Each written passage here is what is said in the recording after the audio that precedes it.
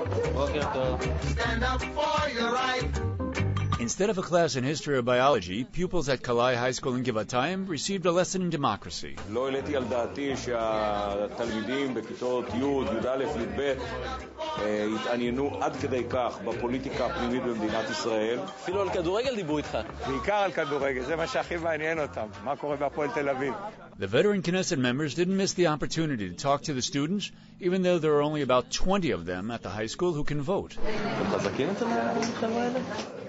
הפעם פחות, אבל עד סוף מערכת הבחירות נהיה הרבה יותר.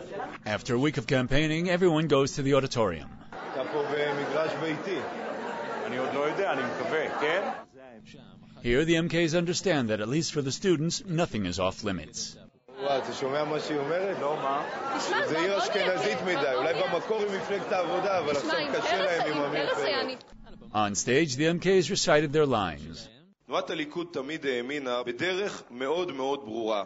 which didn't leave that much of an impression in the back rows. אתם דור העתיד, ולכן חשוב להופיע כאן בפניכם. אנחנו נקבע את גורלנו. התלמידים מאוד ערניים, ובאמת זה התנהל בצורה מאוד תרבותית, מאוד מסודרת. One by one, and sometimes by the dozens, the students entered the voting booths. אני הולכת לשים את העבודה. אני בעד הליכוד. קדימה.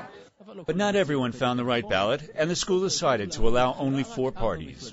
מה, למי הצבעת בסוף? רשמתי על פתק לבן, על ירוק. אני בהתלבטות רצינית, אני לא יודע מה לבחור. So, despite a week of campaigning, some are still confused, but most have made their decision. העבודה עם 97, הליכוד עם 34.